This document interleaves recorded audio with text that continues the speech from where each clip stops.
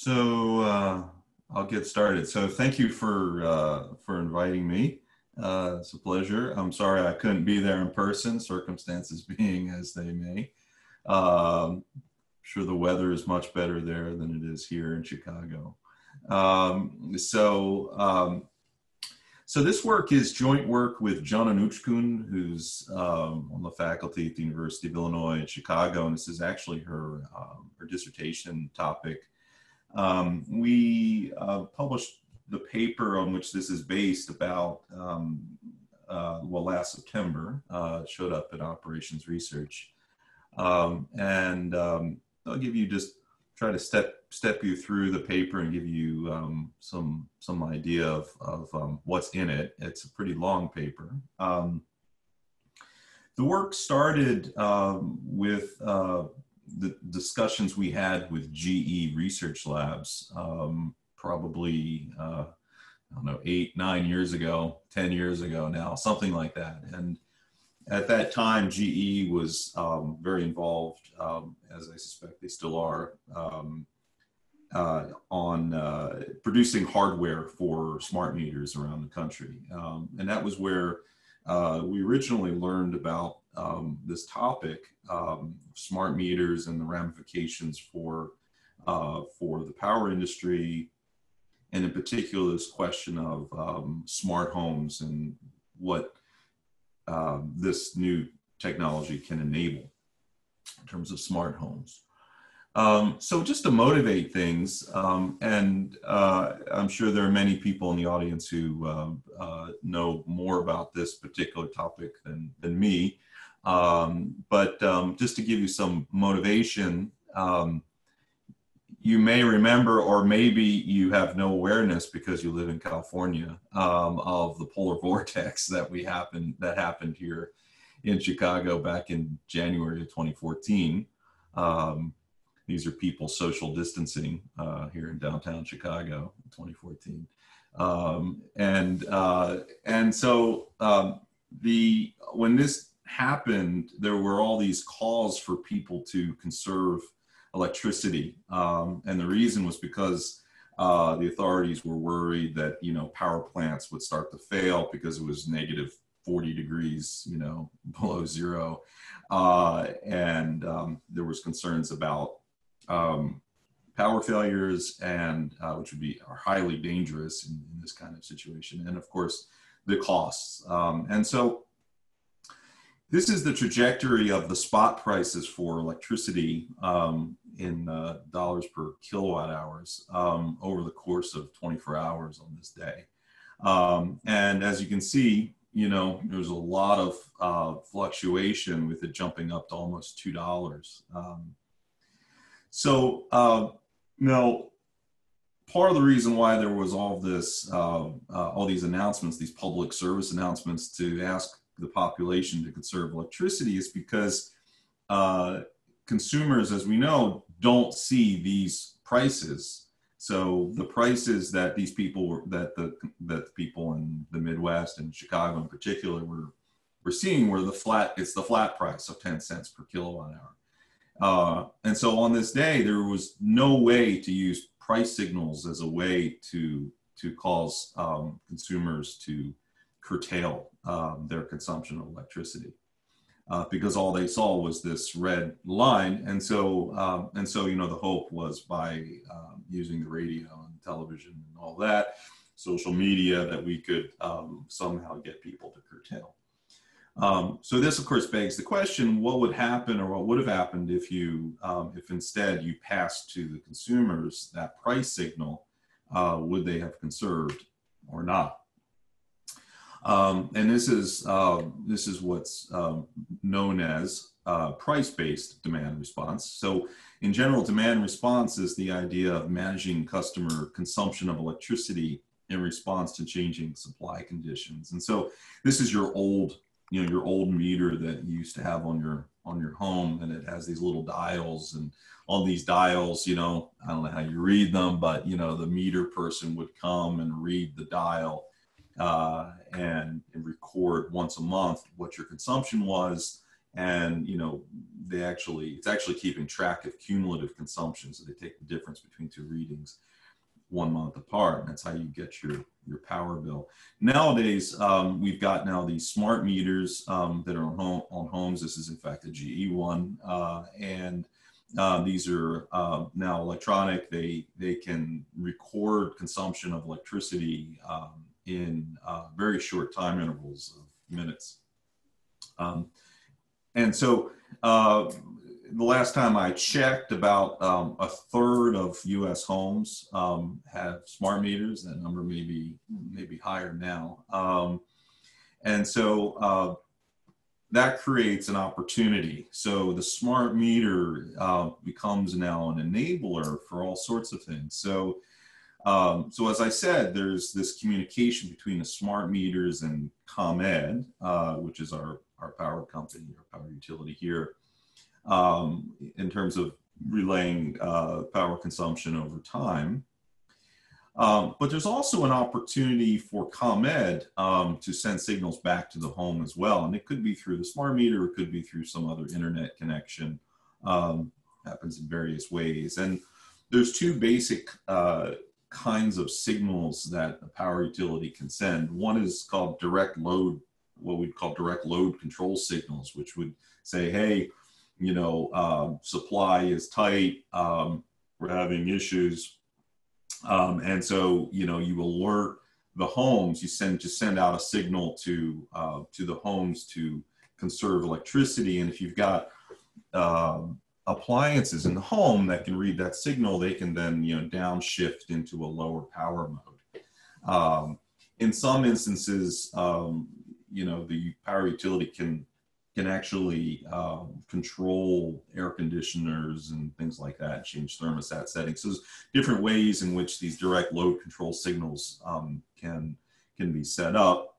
Um, the other way to do it would be to send dynamic prices. Um, and so rather than uh, try to optimize people's homes and their consumption of power, we instead send them price signals and then we let everybody optimize their consumption relative to those price signals.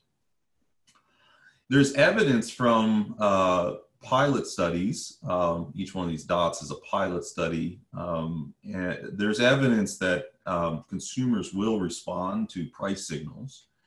Um, and uh, what I'm showing on the x-axis, this comes from this uh, paper, um, it's referenced below, looking at the ratio of the peak uh, price to the off-peak price. So like a, the peak price would occur between you know 4 p.m. and 8 p.m. Um, and so under a peak pricing policy, there'll be a, a jump in price uh, during that time frame compared to the off-peak times. And so you know if you charge 20 times what you normally charge during those peak times, you would expect somebody to start shutting down some lights. And in fact, they do uh, and uh, you know power down their air conditioners or whatever. And uh, and furthermore, uh, if you give consumers enabling technologies, um, you can actually get more benefits. And so here you're seeing you know reductions of you know 10 to 20 percent with price signals only, and you can get more you know 30 percent ish um, from uh, from uh, if you actually have enabling technologies like you know, light up globes and things like that, alarms and sensors um, and uh, other technology. So, um, so uh, of course, this begs the question: uh, How should the prices be set? And um, the uh, there is um, there is of course uh, now uh, a large market for these smart thermostats. Um, one of the most famous ones of which is the Nest um, Learning Thermostat, um, which many of you, if not all of you, know about. Um, and the thing about the Nest thermostat is it's able to uh, respond to occupancy and it's able to learn over time what temperature you like it at five o'clock when you're home. Um, and so uh, this is, uh, and it's very easy to use and slick. Um, so, um, and so this, this is, um, you know, usually popular device. Um, and um, it also has a really nice API in it. Uh, to my knowledge, it's not uh, price sensitive. However, it has, uh, as I said, a nice API associated with it where you could program it to be price sensitive. Um, there's another thing about the Nest thermostat. If you actually start looking at the algorithm, uh, it's hard to know exactly what the algorithm is, um, but um, but just based on on what you can learn about how it works, um, it's occupant aware. So it's aware when someone's home or when someone leaves. Um, you know, people put them in different rooms, and it can keep track of whether or not rooms are occupied or not. Um, and so the idea is that when someone leaves the home or when the home is emptied, you know, it can power down the, the air conditioner because it, it, detects that no one's there. Um, and vice versa, when someone comes home, it can detect that someone's come home and turn on. Um, but uh, to my knowledge, it doesn't um, anticipate occupancy, which is a different idea. So it doesn't say, I'm predicting that my owner will come home with some probability in the next three hours and I'm going to start to optimize the temperature of my home. Um, it, um, it, it, instead is just aware of, um, of when people are, are there or not. And the same thing is true for the prices. It's not, um, you can program it to be price aware, but basically, um, my understanding is that it's it's not. Um, anyway, so um, so the goal of this research, um, this research has three three basic goals. One is to develop a framework for studying demand response based on first principles for doing a few things. So one is just optimizing the price signals of utilities to smart homes to maximize social welfare. And you know when uh, when dynamic pricing in the power industry is discussed, it's often, you know, oftentimes you hear concerns that, you know, that the power companies are going to price gouge and set these prices in some irrational way that profits them. Um, so this is um, one important question. How do you calculate um, the right price signals? Two, optimizing the operation of smart homes with price responsive appliances. So uh, so if you look at Canan's thesis, she has um, you know models for different kinds of appliances in the home and how they would respond to price signals to optimize their operation over time. Um, and then thirdly, um, to conduct market equilibrium analyses, and this is where sort of the, the energy policy part of it comes into play. Um, so you want to be able to answer questions for policymakers like what would happen if you gave everybody a smart meter uh, or a smart thermostat uh, and they implemented what, what would be the impact on the on the um, on the uh, the load power load and the costs and so on and so forth? That kind of question would be important if you're thinking of subsidizing you know the equipment and so on and so forth. So um, so in this talk and in this paper, we focus on one and three, um, and two is um, uh, two is is in work we've done elsewhere. Um, quick literature review. Um, you know, this idea of of uh, real time or dynamic pricing of electricity uh, has been a, around for a really, really long time. It's been like 50 years at least that economists have stated, oh yeah, you know, customers, uh, consumers should pay marginal costs, uh, should pay spot prices for electricity. Um, so that idea has been around for a long time. Um, and uh, it's associated with the peak load pricing literature. Um, in most of this literature, there's an assumption of linear price schedules. Um, it's kind of assumed from the from the get-go. Um, but it's not been until now with all this new hardware technology, um, internet and whatnot, that we've actually been able to, we actually had the technology to do it. Um, and so, uh, so it's uh, exciting area. There's other research um, that has been done. It seems like it kind of comes and goes over time, you know, so there were people in the 90s that were looking at um, uh, this idea, uh, having AC controllers, um, you know, spot prices and, you know, there's work now on, you know, selling power back to the grid if you've got, you know, solar panels and these kinds of things. So uh, anyway, uh, so there's a lot of research and I'm sure I left off, I definitely left off lots of, lots of other things, but I kind of view it as sort of the economics literature and there's kind of this engineering technology literature. All right. So let me give you just an overview of, um, of uh, what uh, the framework that's built in this paper. So our goal in the paper, as I said, was to build a build a framework that um, you know that could be used, you know, plug and play. So if, you've got your own you know uh, model for an appliance in the home, you could plug it into our framework and study it.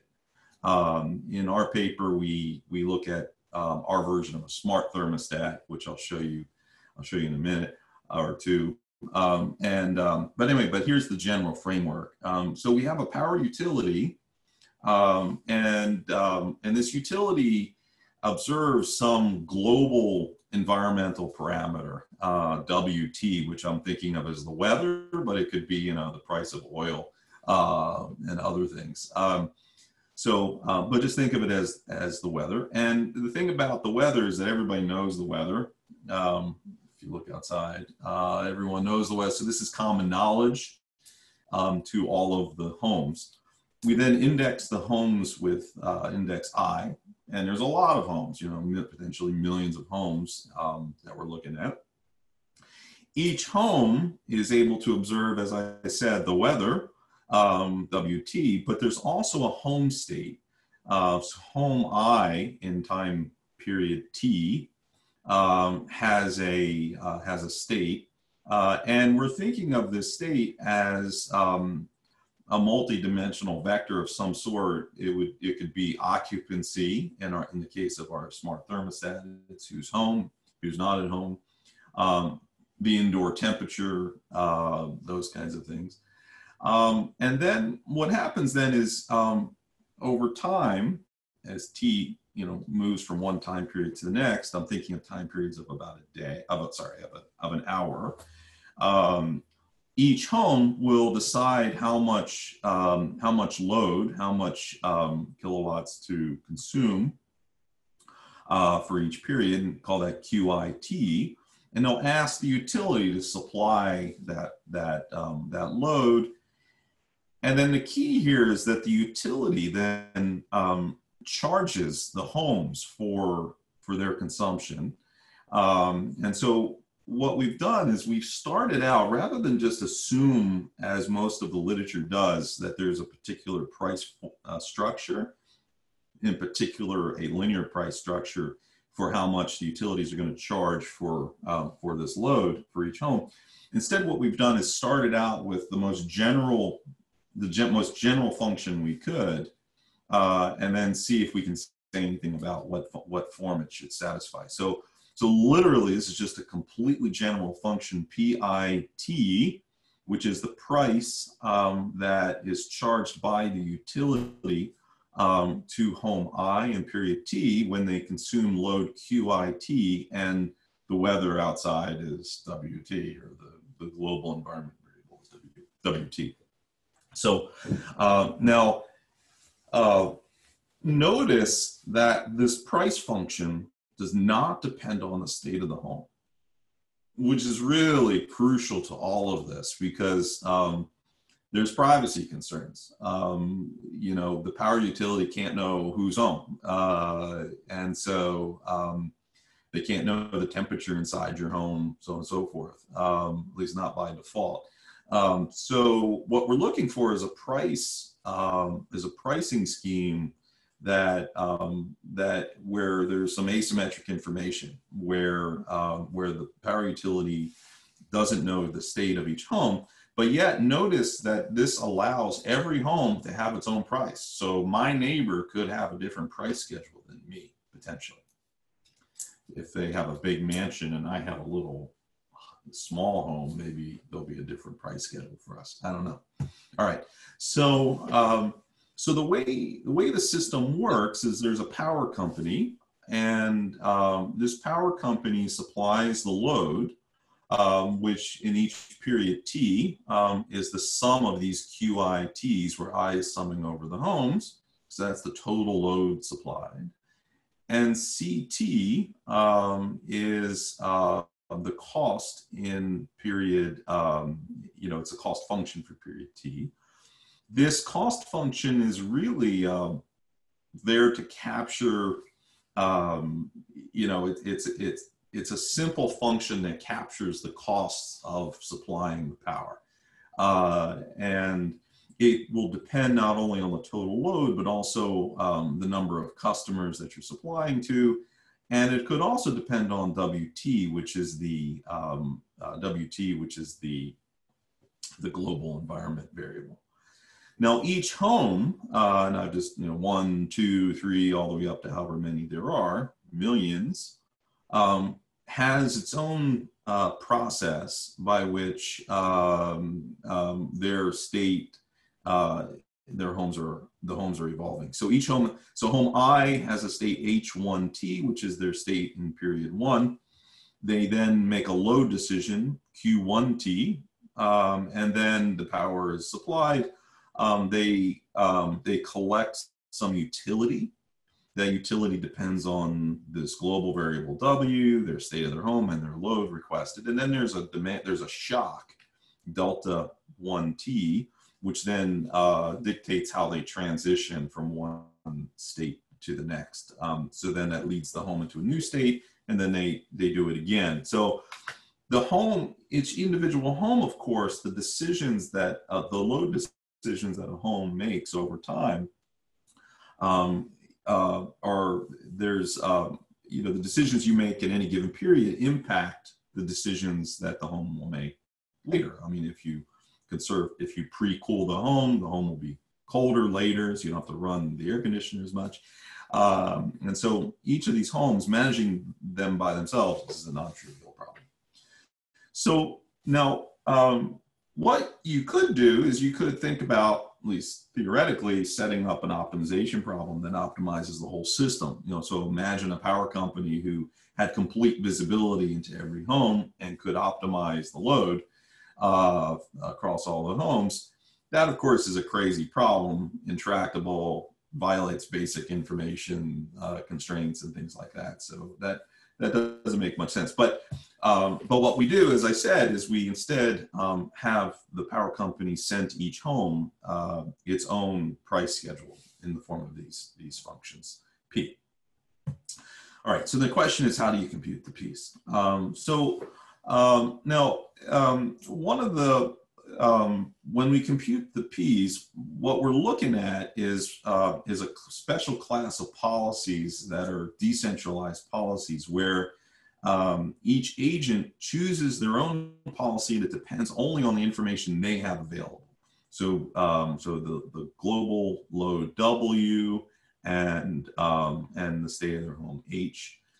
Um, and uh, what it means for it to be a decentralized policy is that conditional on the global variable W and the states of all the homes, the probability of seeing a vector of load requests is actually equal to the product of the probabilities of the individual homes. Um, and, um, and so that's the class of policies that we're looking at. Um, and so here is the decentralized pricing problem. So what we want to do is find the price schedules to give to each home such that we maximize the expected social welfare. What is that? Well, that's the over time, summing over time, it's the total utility from consuming power minus the cost of supplying that power. Um, where each uh, home I is being operated using a policy pi I, and that that policy depends on the prices that are being sent to that home, the PITs. Um, and so um, and so each uh, home solves its own net utility maximization problem. So it's trying to control its air conditioner or some other appliance in the home um, to maximize the expected utility that the home or the homeowners derive from uh, from from uh, consuming that power minus the price that's paid to uh, central uh, for, uh, for the power based on this general price function. And of course, there's constraints on the load, and there's a transition law that transitions the home from one state to the next. Um, okay, so uh, so that's the problem. Doesn't look easy, uh, but we can say some things about it. Um, so let me give you just an overview of some of the things you can say about it. So for one thing, um, there exists optimal price functions that satisfy um, this equilibrium condition. Um, which um, you know looks complicated, but intuitively it's it says that um, the price, the uh, or there exists an optimal price function such that the price that's given to home I in time period t for consuming load QIT given the weather's WT um, is the expected incremental cost of adding this home I's load to the to the whole city. So this home's load is this little QIT. So this is the cost of adding this home's load to the whole city minus the cost of just pretending the customer doesn't exist at all. So this is the incremental, it's the expected incremental cost to the system. So that part of it is straightforward, but there's, um, but this thing is a lot more subtle than just that because it's an equilibrium condition. So, um, and so what's happening is, is that the prices depend on the policies that the customers are using, homes are using um, uh, to, to decide their loads. On the other hand, the policies that the customers are using depend on the prices. They show up here. So prices are on both sides, the left side and the right side. Okay. Um, so it's an equilibrium condition. Um, and the homes themselves, even though it looks as if the homes are kind of not connected, they are connected to each other because um, the problem is is that if I don't consume power now and just let my house warm up in the middle of the summer, um, then in another hour or two I might chill it, and then uh, that could cause the prices, um, the load on the system, the central system, the generate the generation system to go up, up, which then causes the price of my neighbor to go up and my neighbor's responding to that price. And the solution to this is an equilibrium of all of those intertemporal complicated dynamics that occur. Um, maybe my neighbor's house isn't very well insulated, mine is, and all of that's going to come into play here um, in, in calculating these prices. So um, an important question to ask is when are optimal price schedules linear? Because so much of the literature just assumes they're linear uh, it's a useful question to ask. You know, why why doesn't a linear price schedule just work for you? Well, here is how um, uh, our problem simplifies in, in in a very very simple simple case of one period only. There's no weather outside. There's only one agent, and so in this case, what we're doing is we're just trying to find a price function p, p of q, that maximizes the expected social welfare, there's only one agent, um, subject to, um, for every state of the home, the agent will choose a load that maximizes its utility. Okay, so uh, this is analogous to our situation, much simplified, because the P here only depends on the load and not the state of the home. Okay, now the key is is that if the, you allow the price to depend on both the state of the home and the load, then it's not too hard to see that it's optimal to set the, the price schedule to be equal to be linear in Q. So it's the marginal cost is to be evaluated at the optimal load Q star of H, okay, which doesn't depend on P. And so it's just that number depends on the state of the home, different for each state of the home, times the Q. And if you plug this in, you see, in fact, that, um, that this, this works and it does solve the social welfare problem, okay? Uh, but this is not our setting because you can't observe, um, we can't have the prices be dependent on the state home. Um, so if you stare at this enough, you realize that, well, one way to solve this problem is just to let P equal to C.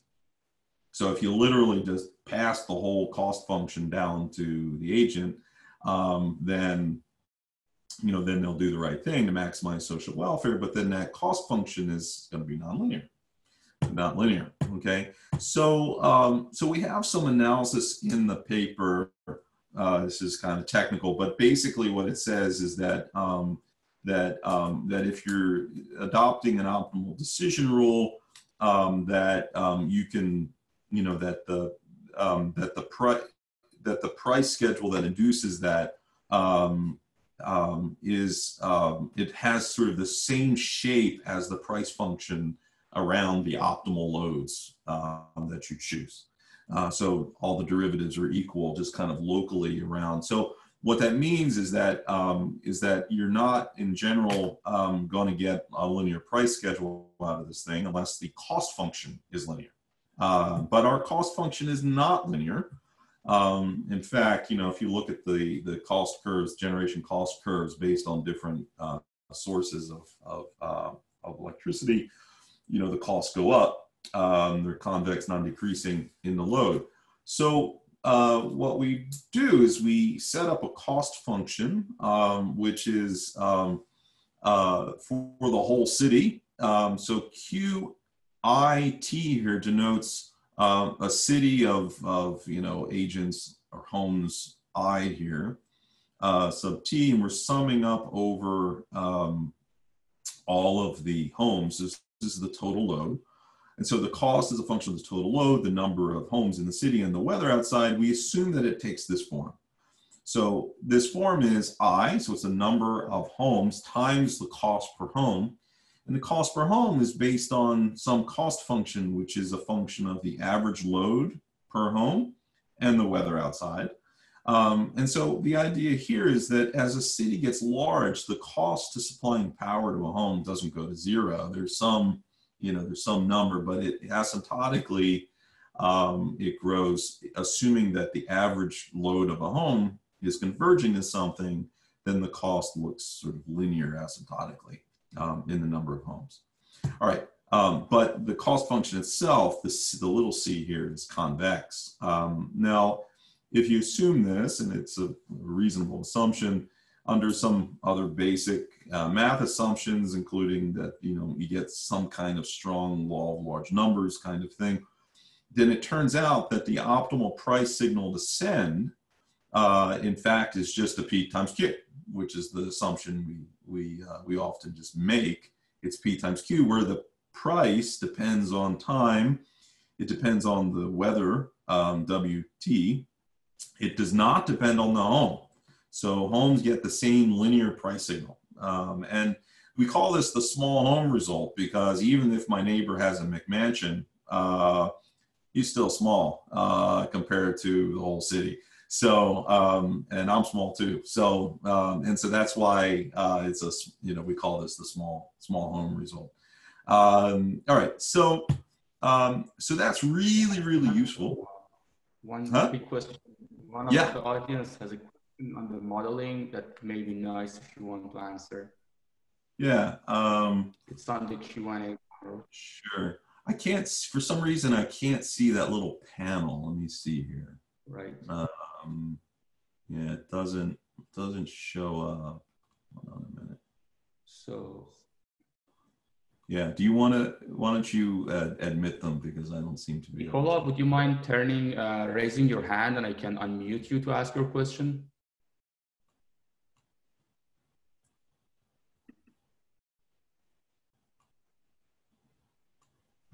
Nicola. Uh, if you hear, can you raise your hand and I can unmute you for asking your question?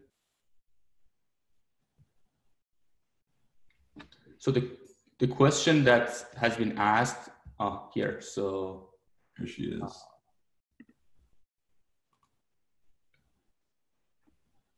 okay, you can ask your question now.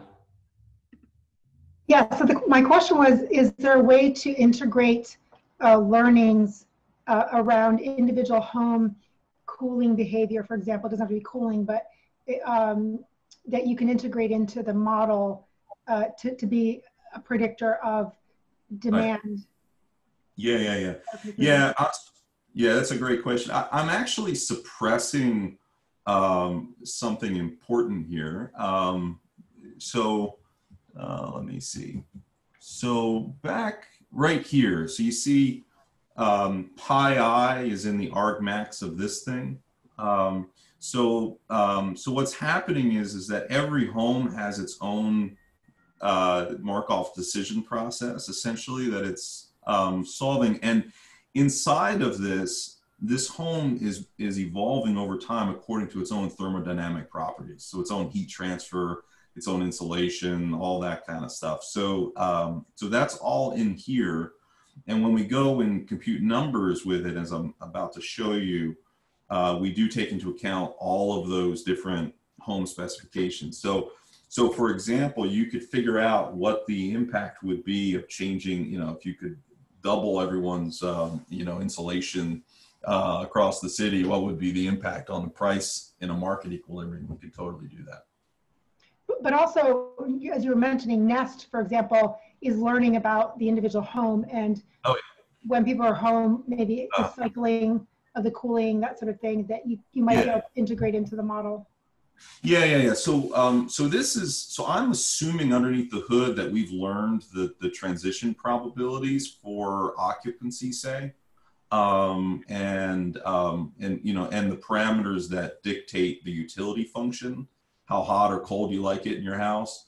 Um, so I, I'm assuming we've already collected enough information to be able to populate these uh, home specific functions if that makes sense. Um, so yeah, but you could, if you didn't know them and you had to learn them over time, um, that would be an interesting extension of all this. Um, Great, thank you. Yeah, sure. Yeah, that's a good question. Uh, where am I? Yeah, all right. So let me see if I can try to, um, let me try to just wrap up because we're, um, to leave some time for questions. But um, we have an algorithm for adapting these prices and for simulating a whole city. Um, what you can do is you can partition the homes into different types of homes.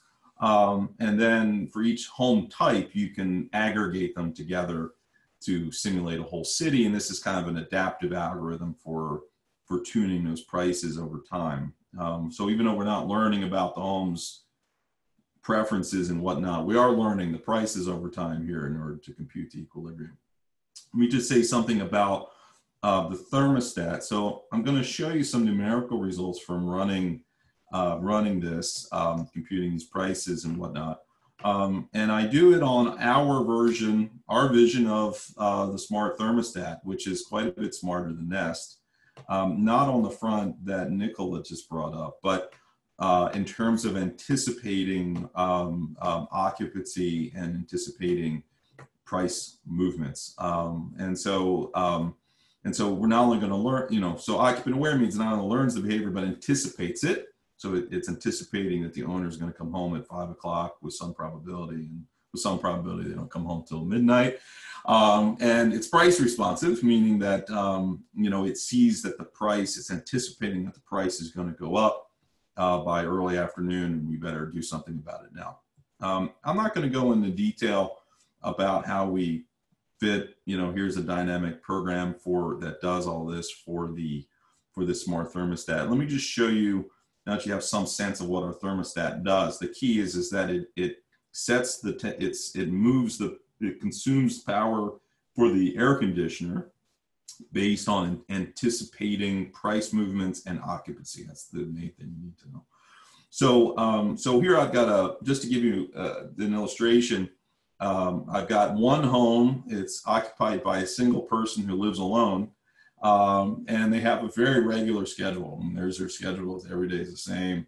Uh, and uh, they sleep, they get a good eight hours of sleep, so this isn't a student uh, and uh, and uh, they're active early in the morning for a couple hours. Um, the hottest day of 2011 was July 20th, and so I'm just going to show you what happens on that day. And they're willing to pay 20 cents so um, per kilowatt hour. So here is the outside temperature on that day. This is the hottest day of the year. It spiked up to almost 100 degrees on that day. Um, in black is what you see. The prices on that day, the actual prices were in green. These are the spot prices coming from the market. And then the flat price is this 10 cents per kilowatt hour, okay, um, to give you a sense. So this is one of the one of the main things I one main things I want to show you is that this when you anticipate things, you get interesting behavior. Um, so the green and the red are just um, uh, these are ignoring um, ignoring um, the red is just ignoring everything. It's just a flat price. It doesn't keep track of who's home. The green is a little bit smarter, but the main thing is that I want to show you is the blue and the purple. So in the blue, this is a flat price, so there's no price anticipation at all. It's just 10 cents on this day, 10 cents per kilowatt hour, but it is occupant aware. Um, and so, um, and so what it's doing here is um, this is the indoor temperature over time. Our homeowner likes it like 40, 74, 75 degrees, something like that.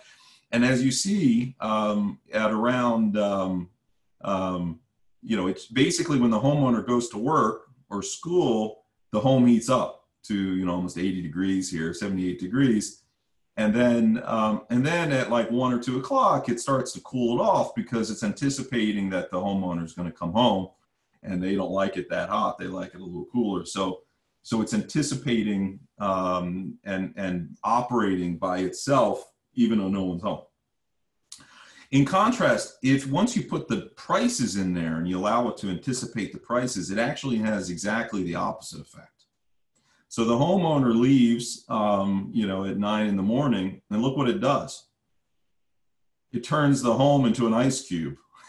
I mean, it's down to 67 degrees, okay, at noon, and no one's home. So why is it doing that? It's doing that because it's anticipating that the price is going to be extremely high later on in the day and so it's pre-cooling the home so it can shut things down and let the home warm up so that in anticipation of the homeowner coming home at five, it's a good, you know, 74 degrees, which is how they like it when they come home. Um, and so, you know, so you get very different behavior here.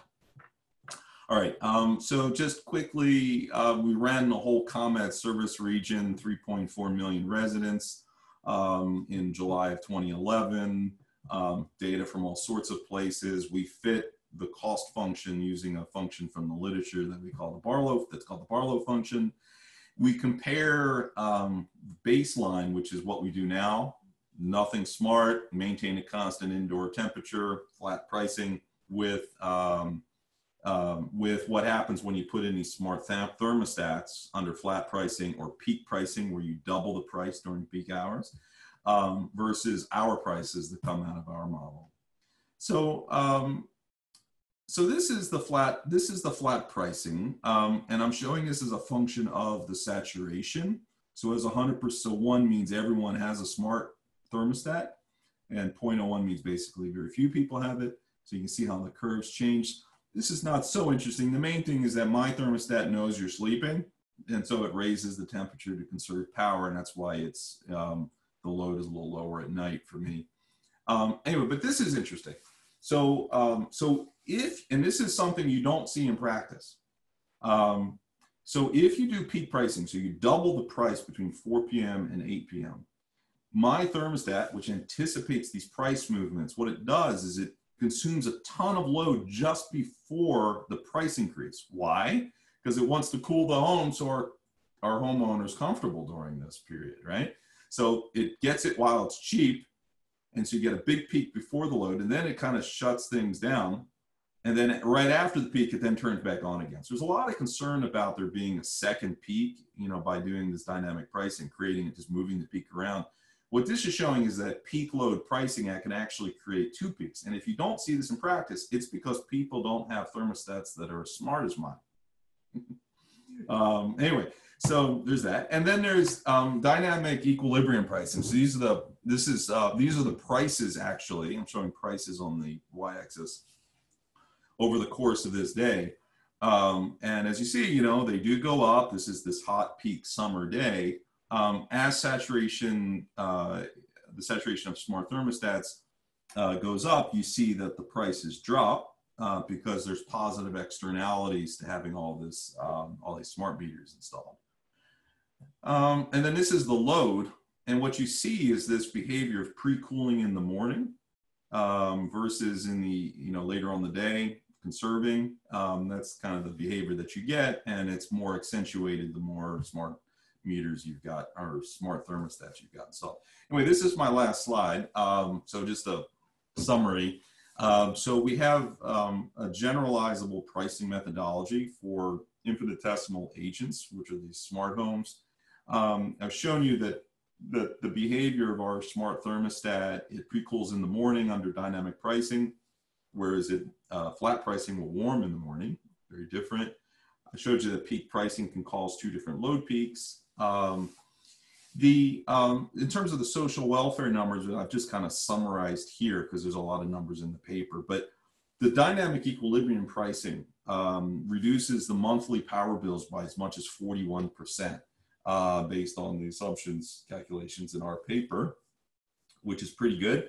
Uh, versus um, 19%, which is closer to what like the, the Nest does basically. Um, you increase social welfare, you reduce the monthly generation costs, you reduce the system-wide peak load. So all these great benefits um, of, of using smart thermostats and doing dynamic pricing. But, and I'll kind of, I'll end here. Um, what we see is that there's a decrease in monthly supplier surplus by as much as 50% um, when you do this dynamic pricing.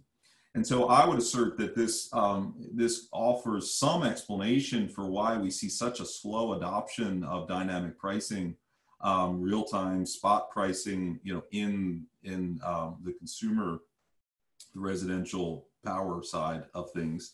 Um, because, you know, you know, power companies make money on selling electrons. And so um, they sell fewer electrons, less revenue coming in. And anyway, it looks like they actually their their surplus would actually go down uh, significantly. So, so in order to get all these benefits, this suggests that um, you know that there would need to be some government intervention of some sort around regulation, supporting the industry uh, to make this to make this more wide, something that happens more widely. Um, so anyway, so I'll just leave it at that and, uh, and I'll take, take any questions. Thank you.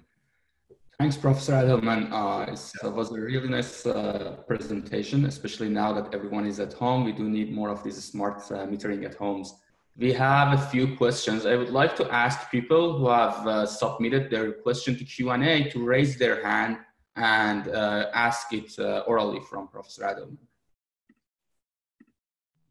Okay. So John, you are, you are on. Go ahead. John, you can ask your question. Okay, hi.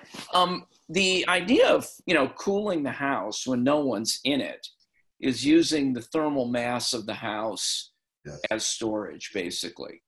But, yes. you know, it's quite possible to store energy in forms that wouldn't directly affect the temperature if somebody's in the house. I mean, you wouldn't do this trick mm-hmm. if somebody's in the house during the day. You wouldn't say, oh, we'll just chill you down to 48 degrees because you'll save money later. So, where do you see this kind of dynamic pricing if more homes had thermal storage? For example, you could make ice in a storage system when power is cheap, whether it's the middle of the night or the afternoon or whatever.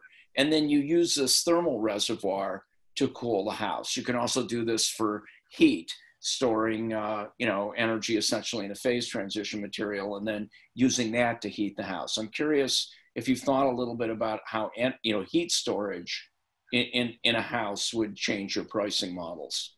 Yeah, yeah, yeah, that's very interesting. So you know, so there's different kinds of power consumption. Um, you know, there's the, there's the storable stuff you know there's the the pure you know discretionary um, and then there's the there's the the load that can be like deferred right? Time shifted somehow. Um, so you know so well first of all i would say um, yes those are all great ideas. I think like in terms we haven't analyzed how these different variations of store of storable uh, energy would change the pricing but you certainly could do that with the framework. So if you you know, so right now, um, the model has, um, you know, there's a heat transfer model that keeps track, you know, that has some notion of the thermal mass of the home, and it, and it, you're right, it's a storage device. Um, if um, there was a way, so the model currently, as it's implemented in the paper, if it would cool the home and make people, it is taken into account the probability that someone comes home for lunch it's freaking freezing in the home, right? And so, um, and so it does keep, it does do that. If you had instead, you just substitute your model uh, that has a thermal mass that doesn't, you know, impinge on the on the consumer uh, in it instead, then I my guess is that it would it would end up actually storing even more um, uh, um, of the energy in the thermal mass, you know, with the thermal mass. Um, and what impact would it have on the price? It'd probably be beneficial, would be my guess. But you could certainly just adjust, you know, come up with the model of how the home uh, chooses to to consume load to build up that energy mass over time, plug it into the framework, and then investigate a question like that. That'd be very interesting.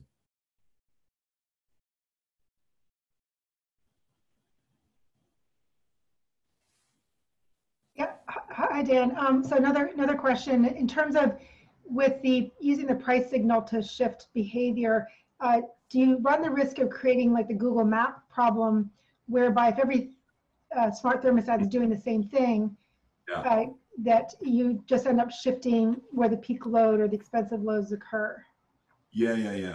Um, yeah, so um, so when we look at the equilibrium, um, we don't see that. You're right. That that's a concern that's that's frequently um, brought up um, that everyone will just shift all their load to you know some other time and they would all coordinate on that same time um, but you know there's heterogeneity in the homes um, you know as we were saying earlier and there's the heterogeneity comes into play not only in terms of you know the thermal properties of the homes but also um, the utility functions their willingness to pay for power and also in the um, you know the probabilities the, the occupancy probabilities that evolve over time you know that like the nest thermostats learning and whatnot. So so in our experiments you know it doesn't it looks like there's enough heterogeneity and randomness that that that that behavior where everybody just flips everything on at eight o'clock doesn't happen oh interesting that's great I mean, if you had a deterministic model where everybody looked the same, you know, maybe you'd see some of that, you know, but when you've got, you know, probability of homeowner coming home at five o'clock is 0.5 versus 0.3 if the neighbor's out, you know, you just don't, you just don't see that. Great. I have a, I had a quick relevant question and, um, and it's about this implementing this in a dynamic way and adaptive system uh, yeah. that assuming the nest would like to learn the patterns that the household has and take over and make quick decisions that the household cannot do in real time. Uh, is there possibility that because of the noise, the learning algorithm becomes unstable and eventually does uh, unstable control of the house house temperature? Yeah, so as I said earlier, I mean, our model just assumes that you know those numbers, you've learned those numbers, and they're they they're not changing, you know, over time in a way that we don't already understand. So, um, um, so we haven't, you know, we haven't looked at what happens when you when you try to learn on top of this, what those parameters are. You know, my intuition about the learning problem is that learning is pretty quick. I mean you know, if I was Nest and I had data on lots of, um, you know, millions of people using my thermostat, I probably could guess your parameters pretty well with a little survey. I don't know if they do that or not, but I would think you could probably guess if you give me a million customers that have used my Nest thermostat for years and you tell me some basic demographic information, information about the size of their home, how many people are there, you probably could come up with reasonably good parameters. So, you know, is the thing really learning anymore? I mean, does the darn thing learn? I mean, it seems like after installing it a million times, there's really not much more learning. Maybe I like it 72.6 and you like it 72.4, but what's the value of that learning? I don't know. Um, you know, maybe my schedule's different. You know, once you tell me I'm a third shift worker, well, that that changes. You know, well, they probably have a pattern for that somewhere. So I'm not sure how I'm not sure how interesting the learning problem is. Is what I'm mm-hmm. suggesting. And even if you did, even if you had learning, I think you could learn quickly with with some limited data. In fact, I mean, even from like a thermodynamic perspective, like all of the heat transfer coefficients and whatnot, with enough data from a single home, you can you can conclude, I think, what you know what the what those parameters are. Probably fit them reasonably well. I haven't done that exercise, but I'm guessing with enough data from a single home, you could do that. So I don't know, and it's probably not even doing anything that smart by the way. I don't think it's, I don't think there's a, therm, there's a, there's a heat transfer model inside the Nest thermostat. Mhm. I could be wrong, but I don't think there is. I think they're just learning what temperature you like it. Thank you, Professor Adelman. Uh, we are at the end of the time for this seminar. Thanks again for the time you spent and the presentation. You're welcome. Hope it was helpful and interesting. Thank you all. Bye.